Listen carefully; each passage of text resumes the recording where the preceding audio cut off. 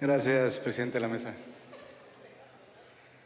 Como presidente de la Comisión de Justicia y uno de los principales promotores dentro de mi partido político a nivel federal, y no hablo del Congreso de Quintana Roo, porque mi compañero Vladimir metió primero la iniciativa en el Congreso local, lo hizo público, con prensa,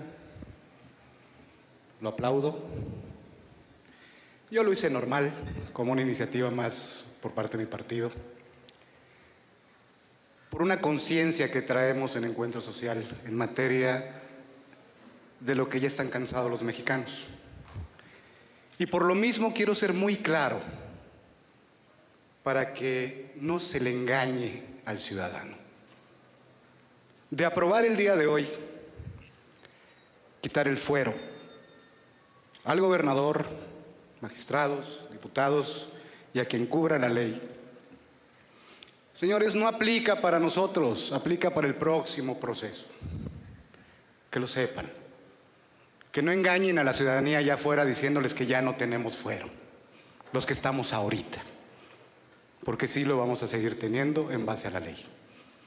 Que es importante que para las próximas generaciones haya mecanismos para darle seguimiento, eso sí es necesario, por transparencia, por anticorrupción y sobre todo por buscar que las nuevas generaciones políticas tengan mayor conciencia de humanismo y de voluntad para trabajar por los ciudadanos.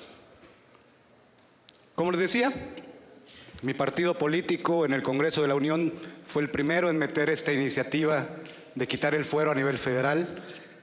Está atorado en comisiones, esperando a que se pueda tratar el tema. Varios congresos estatales, como bien decía la diputada Leslie, lo han trabajado, lo han aprobado y han tenido problemas en materia de algunas cuestiones legales por parte de algunas autoridades. Y sí debemos ser respetuosos, respetuosos de los quintanarroenses. No se vale venir a este pleno hablar bonito y a decir, nos lo vamos a quitar todos. Hay que decir las cosas como son. Señores diputados y diputadas, díganle a los quintanarruenses que aún aprobando esto el día de hoy, seguimos teniendo fuero los que estamos ahorita. No les vayan a decir allá afuera que ya nos lo quitamos. Díganle la realidad de lo que estamos haciendo en el Congreso.